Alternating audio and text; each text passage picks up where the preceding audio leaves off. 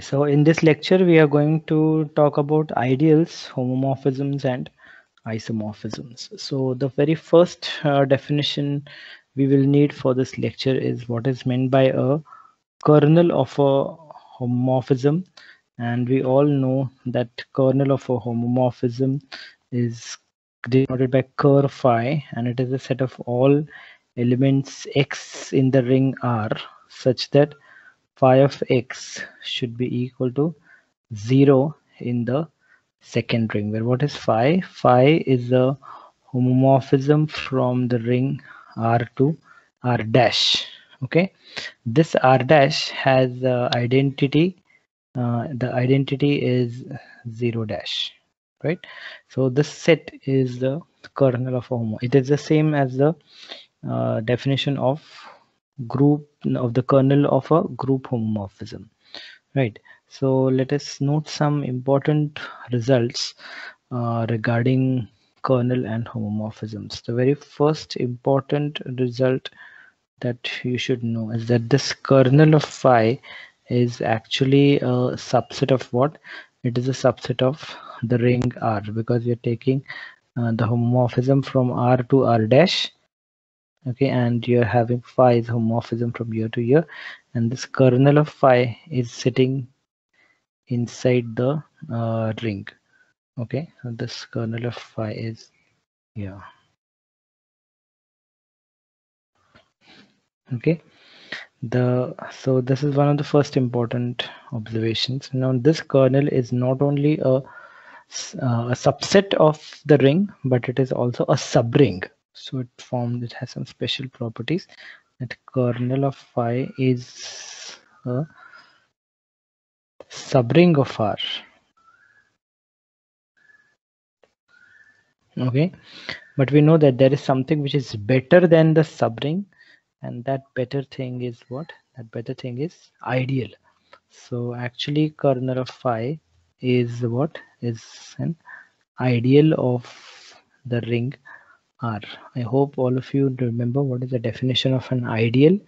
If you have a ring R and if I is an ideal, then any element in the ideal, any element in the ring, the multiplication is always pulled inside, which is A into R.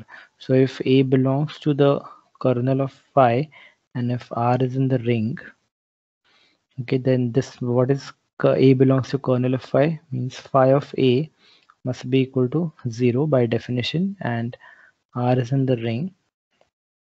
Okay then what is where is phi of r? Phi of r belongs to the ring r dash. And therefore when i write phi of ar it is equal to phi of a into phi of r because phi is a ring homomorphism. But what is phi of a dash? Phi of a dash is 0 so this is 0 dash into phi of r and what is this equal to? This is equal to 0 dash. So this means that phi of ar is also 0 dash and therefore ar must belong to the kernel set. And therefore we look at this first line.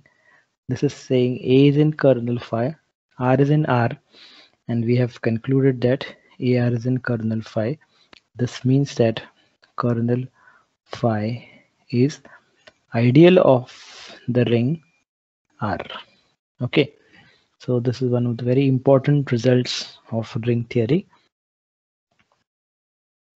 Now, what we will do is we will write, uh, we will observe some, uh, some, uh, we will take some examples of uh, isomorphisms. First of all, all of you know what is if I is a homomorphism from R to R dash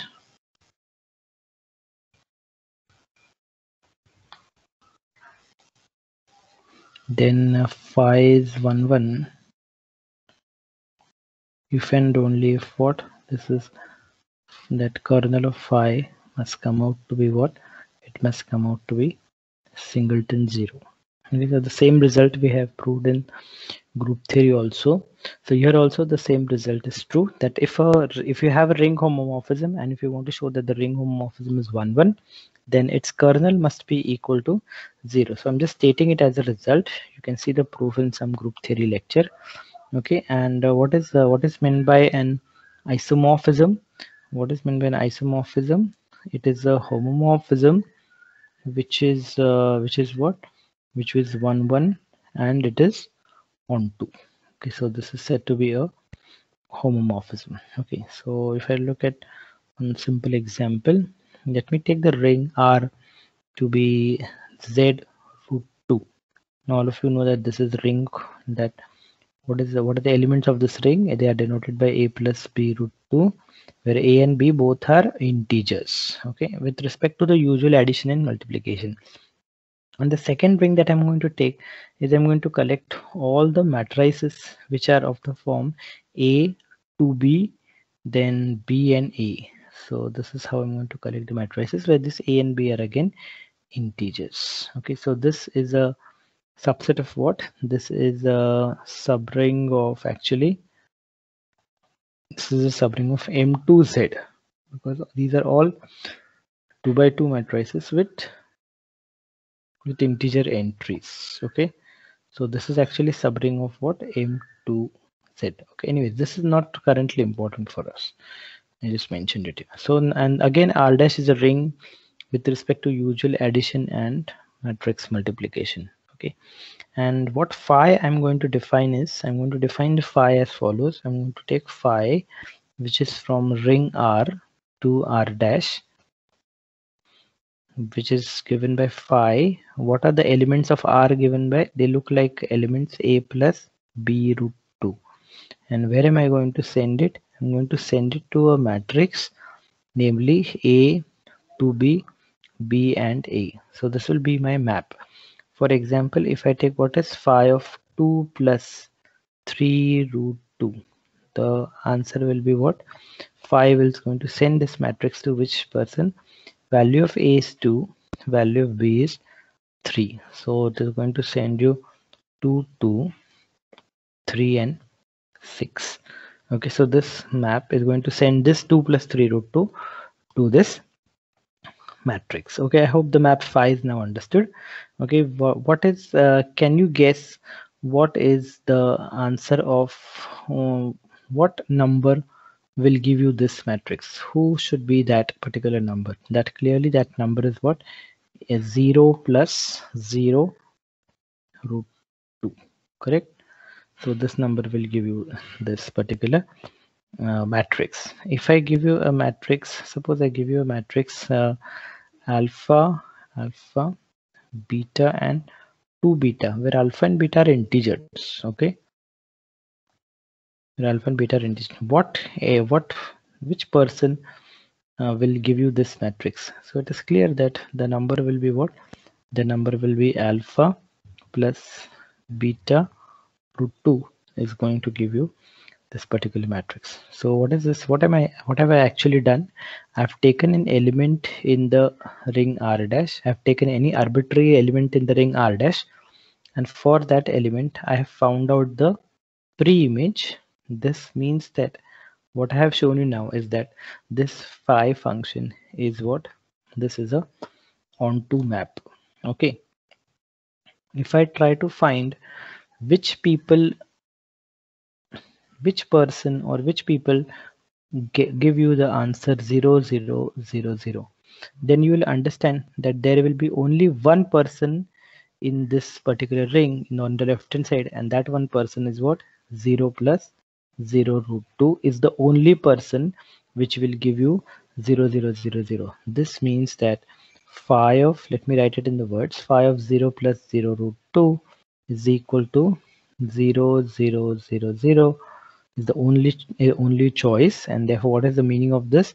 That's 0 plus 0 root 2 is an element of what? Is an element of kernel right because this is actually 0 dash. This is the identity of the right hand side. And this is the only element which is giving you 0 0 0 0 so this means that kernel of phi is actually containing a single element. Who is that element? That element is 0 which is this. So this indirectly tells us that phi is also a one one function. I could clearly observe that. Okay, and if I take phi of a plus b root 2, plus c plus d root 2 your calculations will tell you that it is actually equal to phi of this plus phi of this. A plus b root 2 and c plus d root 2 even if you multiply them if you find what is a plus b root 2 multiplied by c plus d root 2 then you will get the product of the right hand sides also. So a plus b root 2 multiplied by phi of c plus d root 2 so all these things means that phi is a homomorphism. These two mean that phi is homomorphism. We have shown that phi is one well phi is onto and therefore this phi which is given by what? Which is taking a plus b root 2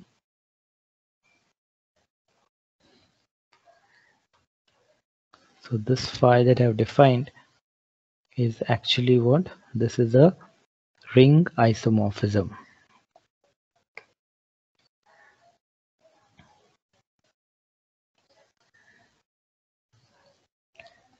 this is the ring. Isomorphism. Okay. And this means that the two rings R and R dash. If you get a ring homomorphism between two rings we say that the two rings are isomorphic. Okay. And therefore the rings R and R dash are isomorphic rings. Okay. Now let's take one question and let me take uh, the phi to be a homomorphism from the set of uh, complex numbers to the set of uh, all matrices uh, which are of the form a b minus b a. Okay where a and b are real numbers. Okay i'm taking all such matrices. Again r dash i'm going to use the same usual addition and matrix multiplication and here we know that the set of complex numbers with respect to usual addition and multiplication this is also a ring. And this is this will also form a ring. And what am i going to do is i'm going to take a complex number a plus ib and i'm going to send that complex number to which matrix? I'm going to send that complex number to the matrix ab minus ba uh, for example if i take a complex number 3 plus 2i i'm going to assign which matrix to this complex number? I'm going to assign 3 3 2 and minus this looks like a rotation matrix okay? Uh, a b minus b a. Check the properties uh, phi of a plus ib into c plus id uh, and this will be equal to phi of a plus ib into phi of c plus id so this property will hold. Even if you add them a plus ib plus c plus uh, id and this will again come up to be what? Phi of a plus ib into uh, plus sorry phi of c plus id so this means that phi will be clearly a homomorphism. And uh, if you if you try to see which matrix maps to the 0 0 0 0 matrix uh, which number which complex number will give you this particular matrix so you'll find that there is a unique number which is giving you this particular uh, matrix and that number will be what 0 plus 0 i. This means that there is only one person in the kernel. Kernel is what? Kernel is set of all those complex numbers which will give you zero matrix. How many complex numbers we got? We got only one complex number. So the kernel is actually singleton zero which i'm going to denote by zero.